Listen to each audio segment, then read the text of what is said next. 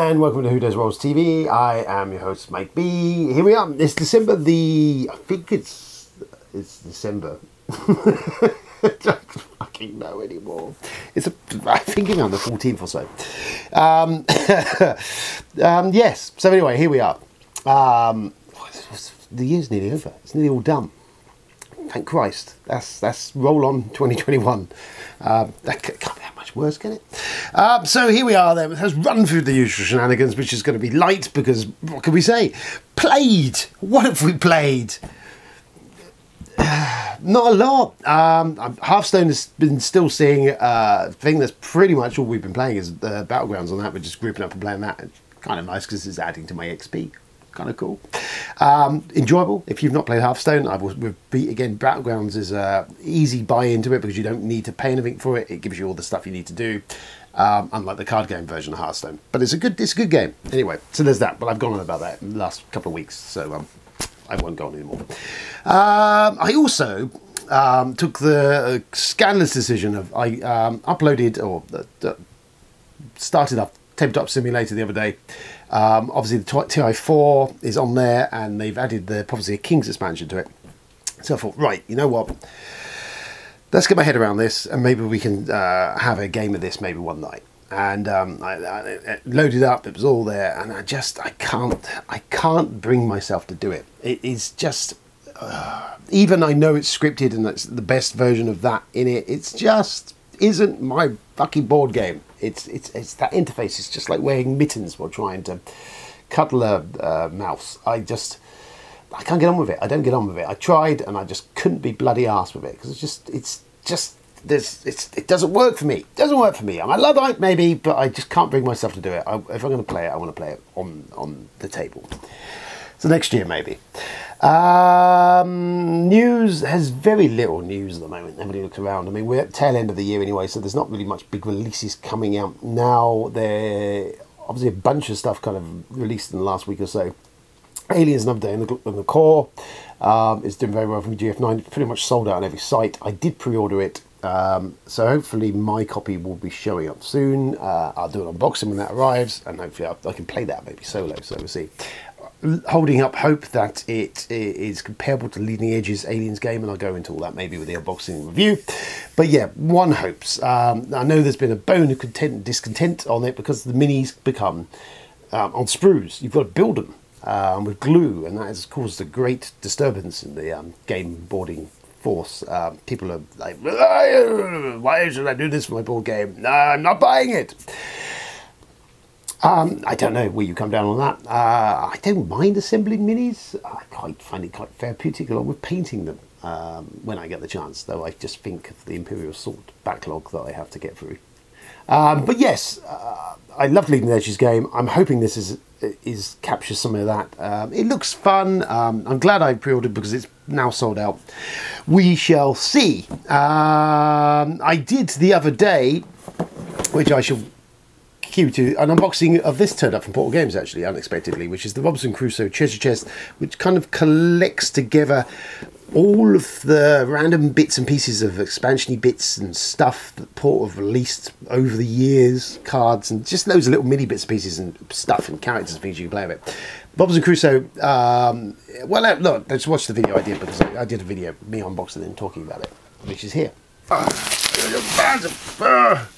Oh, this is the Robinson Crusoe a treasure chest. I did see they were selling it. Um, so.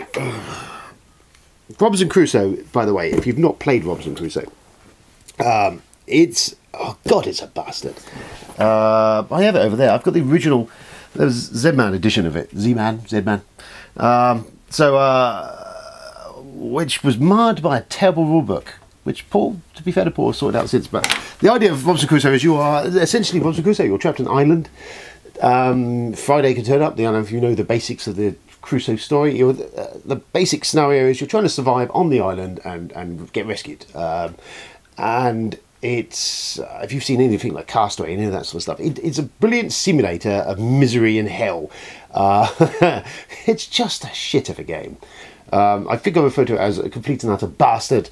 Um, and I think Ignacy at one point actually did publish that as being my review of the game.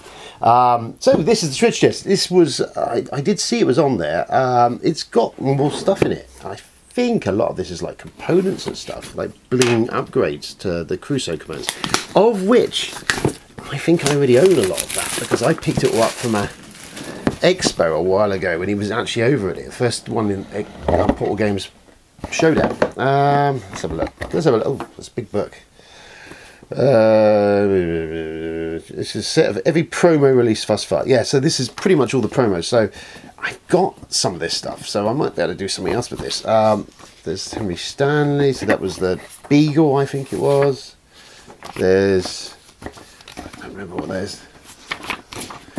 Some other stuff there. Maybe the book goes through exactly what's in there. I think this is all nice. Okay. Um, Lords or Lloyd. Maybe it will tell us what we've got in here. Uh, oh my goodness. Discover loads of discovery. There's loads of stuff in here. I'm not entirely sure how much of this will work with my old first edition version um, of the game. Uh,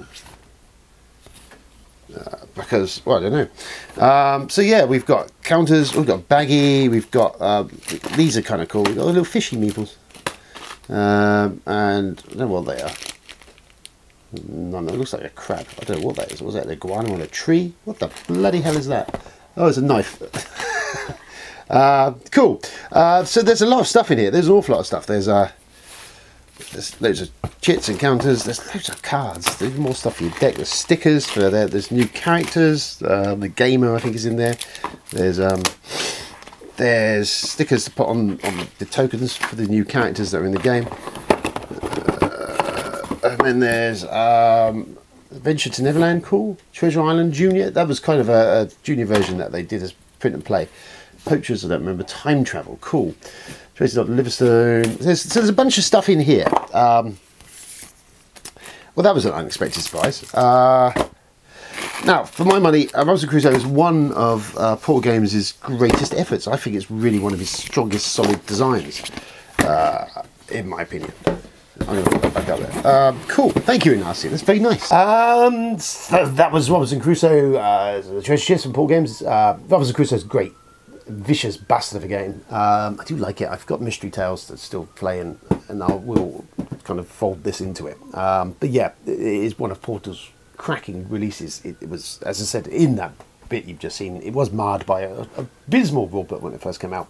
However, it is now quite playable. There's been a second edition of it. It is good. It's worth the time investment. Um, it plays well as a solo game, um, but it's also a great group think. Um, as sit around the uh, desert island board game and see how quickly we all die. Uh, what else? This came. Oh, this came in the post for me the other day. Um, Tremors, high def special edition from Arrow Video. We've I've gone about Arrow Video before. How I do like a bit of Arrow Video. They do put out some really great versions of cult classic movies. Tremors is for me is one of the great 90s monster movies. It's one of probably stands on its own. Um, there's been very few of them. Uh, it is great. It, it's kind of timeless. It works really well. The special effects are fantastic. Really great cast. Fantastic script. Really good music. Uh, just the whole thing, the whole package is really well. Bombed on its initial release even though it got some good ratings, um, reviews, reviewers and stuff, just didn't find its fingers. And as always with these kind of cult classic great stuff, it found its home on home video. Um, it's Kevin Bacon in it, Fred Ward, great. There's a bunch of other sort of character actors. Michael Gross made a career off the back of the, I think there's like six Tremor sequels. For the record, I've not watched all the sequels. Um, they were kind of law of diminishing returns, in my opinion. The class, the first, the original, is just a, a absolute cracking perfect, boom, does what it needs to do, and, and it works so brilliantly and well. Sequels are alright, but I've never really trailed through them all because they kind of cheaper, less budgety, and they, don't quite have the charm of that original movie. Um, comes from Universal, we did Jaws. There's a lot of similarities between this and Jaws, actually. I mean, sat and watched this again the other day. Um, some of the music cues are definitely Jawsian. You've got the whole idea of the monster Beneath You Coming to Get You. Um, uh, there's a couple of scenes that even call back to that. Um, and I think even the production designer, when they were designing making the movie, you know, they had to get around the fact that the monsters couldn't be seen all the time. So there's lots of tricks and cheats that Jaws implemented. Um, and there's even the scene I saw with Michael Gough uh, with a gun who's kind of proudly on the front of the uh, of a tractor later on, kind of reminiscent of Quint uh, on the front of the orca when they're hunting the shark. It's a great movie. If you've never seen Tremors, I'm, I'm astounded if you've never seen it. Um, it is a throwback to 1950s monster movies.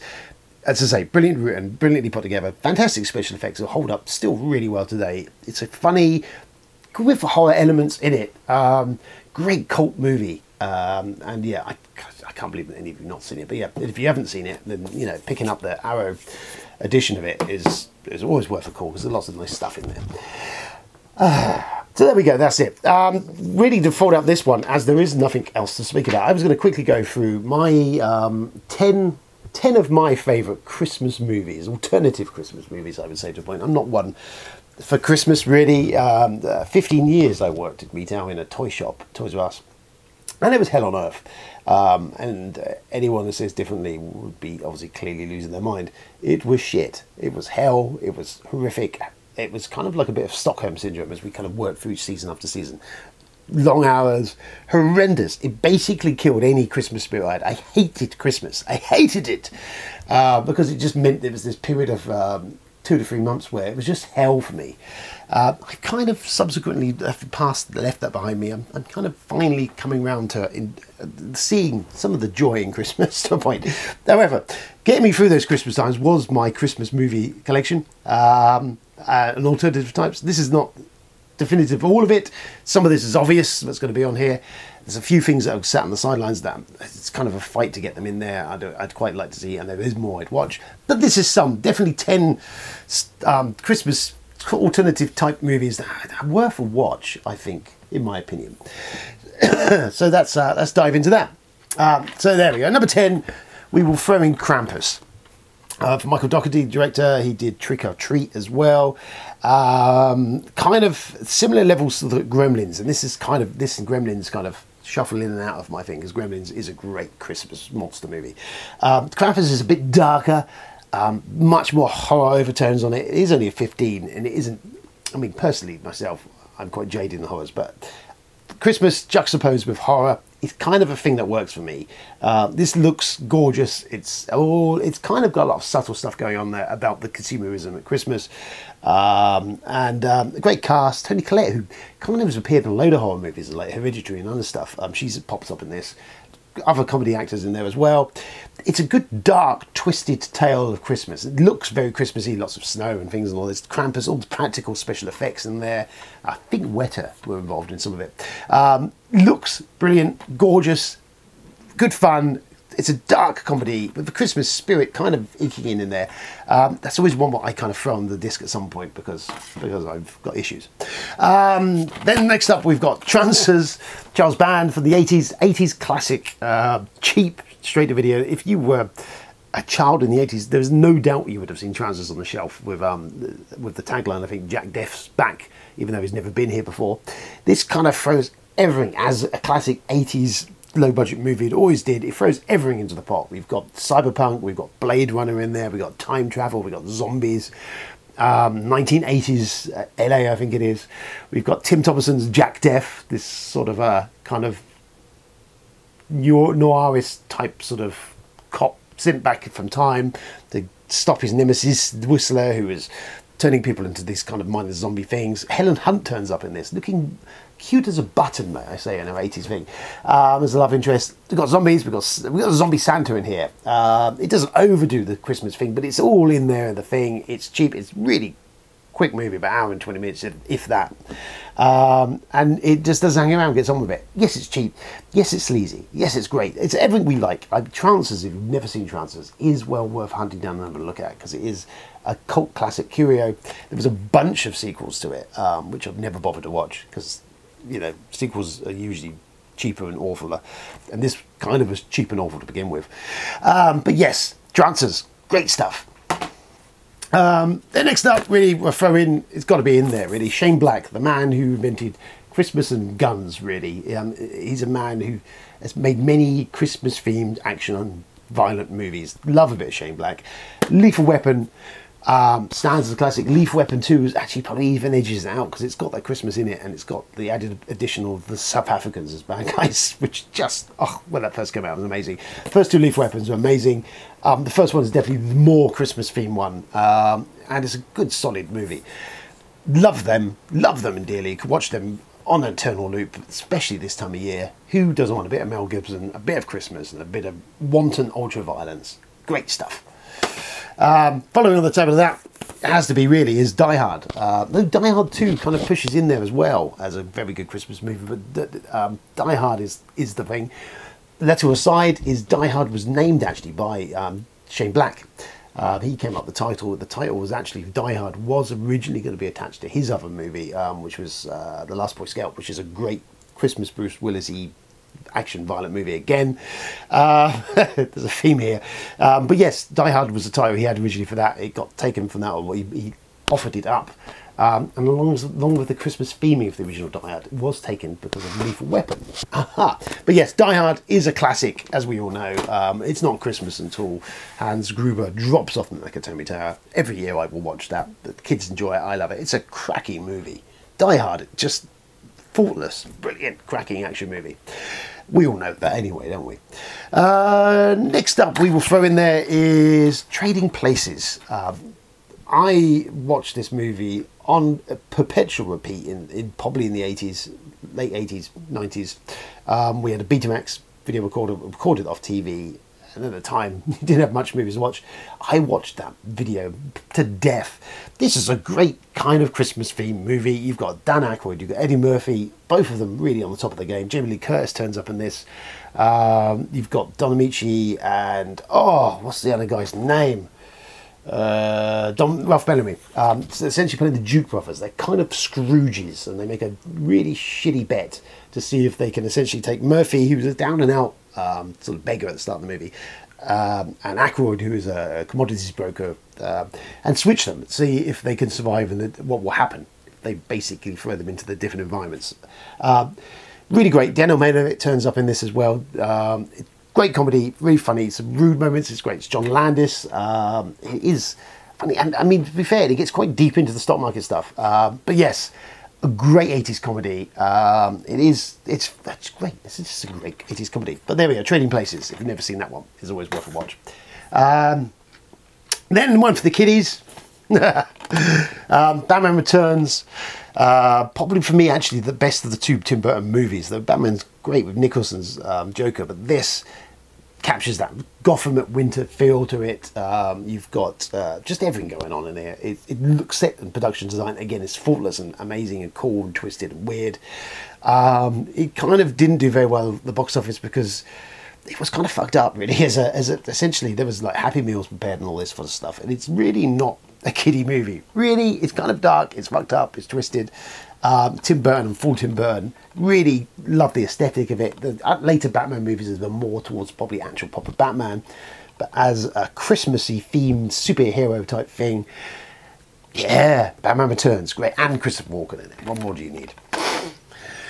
Um, Going back to Mr. Shane Black, of course, we got the Long Kiss Goodnight. Uh, Geena Davis, Samuel Jackson, uh, very Christmassy. Lots of violent Christmas violence in here. Um, it's uh, directed by Renny Harlin, I think I remember rightly. It's overblown, it's ridiculous. Um, Geena Davis, essentially, it's kind of uh, taken that whole idea of an, a, a, trained killer assassin who's lost their memory um, and then kind of being reawakened, which is what Geena Davis does in this brilliant. What a cracking movie. It's just got everything going on there. Um, and and uh, and it's got this cold sort of feel to it. It's got some great Christmas standout action moments in there. Samuel Jackson is bang on on this. He's fantastic in this.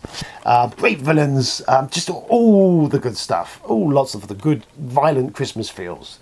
Well worth a look. Um, then we have uh, Terry Gilliam. Um, he's done a few Christmassy themed things, and I think The Fisher King and even 12 Monkeys to a point. But I'm going to go for Brazil because this is definitely the most Christmassy one of his movies. Uh, this is a dark movie.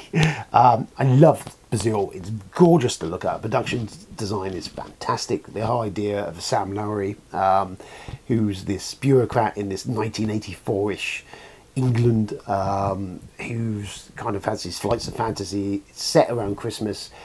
Got some great moments. Um, De Niro turns up for this as well, actually. Uh, but even the beginning, with got the sleigh bells tinkling as the family are kind of thrown into the street and the husband is taken. It's just takes that 1994 bureaucracy and kind of really goes to town on it. Um, and it is, it's just twisted and great and weird and, and wonderful um, bleak. Um, but yeah, it's funny, um, funny, and then sometimes you're like, oh god, that's not funny. Um, but Brazil, if you've never seen Brazil with Terry Gilliam, um, you like that cyberpunky vibe, that sort of kind of neo gothic sort of sci-fi future and, and, and what Orwell's 1984 was doing. A lot of that is all kind of going on in here with um, some great comedy chops being run. Um, Jim Broadbent turns up in here, Michael Palin, uh, loads of people, loads and loads of people. Very good. Um, love that one. Brazil, Terry Gilliam. Um, then we've got another favourite of mine is in Bruges, um, which uh, is just brilliant. Colin Farrell, Brendan Gleeson, um, and Ralph Fiennes, all three of them are just on top of their game. Uh, it was by Martin McDonagh, I think it was his name. I say it's Martin McDonagh. Oh, there's the fruit scrubbing against the table. Dropped it in my lap. It's all gone wrong. Yeah, it's Martin McDonagh. Um, he did a bunch of other movies, uh, Three Billboards and uh, Seven Psychos or something. This is his best movie. It was his first one. Um, essentially, Gleeson and Farrell are hitmen. They've been dispatched to Bruges um, because of Farrell has done a terrible thing, and it's all about him dealing with his repercussions of, of their terrible lives and what they the, the violence and wanton horribleness they, they've caused and it starts showing Bruges this kind of Christmassy thing. Gleeson just wants to walk around and sightsee, um, and it slowly, as the course of the movie goes on, it becomes this dark, twisted, macabre fairy tale. Um, Ralph Fiennes a, a wonderful, vile form, spouting some of the worst, worst dialogue possible to people he shouldn't be spouting it to. Um, violent, again, dark. Um, but with kind of that uplifting Christmas message at the end, even despite all of the shit that goes down. Um, and just a really, really fucking good movie. Um, in Bruges, if you've never seen it, highly recommended. Uh, and then finally, for me personally, always gets a Christmas airing for me, always comes out, is Bad Santa. Um, this was kind of a documentary for me when I was working at Toys R Us. this wasn't comedy. This was real. Um, I was on the. I was dangerously close to becoming Bad Santa more than once. Um, Billy Bob Thornton, fantastic in this. Uh, great script. The Coen Brothers were kind of tinkled involved in this as well. It's uh, it's rude. It is obnoxious. It kind of started this whole thing for bad this and bad that movies, but this was the original, um, and did it very well. It's very funny. Some properly dry sardonic sort of humour in there. Um, when I first watched it, I I enjoyed it, but kind of was like, what have I just watched? And watched it again. It's one of those that grows on you and becomes funnier every time I watch it. What I also adore about this movie, despite its ill-tempered, vile behaviour throughout this, it still manages to swing around to give you that feel-good Christmas ending to the movie, despite all the horrible shit that goes on in this. Um, has again another nod towards consumerism and, and how Christmas is maybe not what it was all about. Um, just well worth it for that partnership between Thornton um, and uh, oh, what's his name? Tony K. Tony K. I want to say it is. Tony Cox as his uh, short little partner in, in Elf uh, and the kid. The kid, just incredible. Um, yes, so there you go. Bad Santa wonderful every Christmas. In fact, I need to watch it so far. I haven't watched that yet this year. So there is 10 of the alternative Christmas movies that I quite enjoy. Stuff like Kiss Kiss Bang Bang nearly made that list. Um, nice Guys is quite good. As I said, I've mentioned some other stuff in there. Even Iron Man 3 you could potentially throw into that mix. For they're the ones that I most kind of will go to at the moment. Um, I'm sure there's hopefully some more Christmassy themed mayhem on the way from people. Um, Shane Black said he's not doing any more of them, but we'll see. Um, but yes, there we go. So that's it. We are on the doorstep of near Christmas. I've got some movies to watch now to entertain myself. Um, uh, hopefully, there might be some news and some stuff, things to speak about next week. Who knows? Um, but there we go. This has been Who Dares Rolls. I've been Mike B. That has been pretty much nothing relating to board games at all in this episode. I will reopen this box. Take that as you will. Have fun. Uh, see you soon. Uh, yeah, and stuff. And there's other videos coming. I think the top 50 part one will be dropping in the next week, day or so. Hopefully, if I can finish editing it. Oh my goodness. Ta-da! Farewell. Have a good time. I will catch up before the big day. I am certain. Um, thanks for tuning in and stay safe out there. Bye. Bye.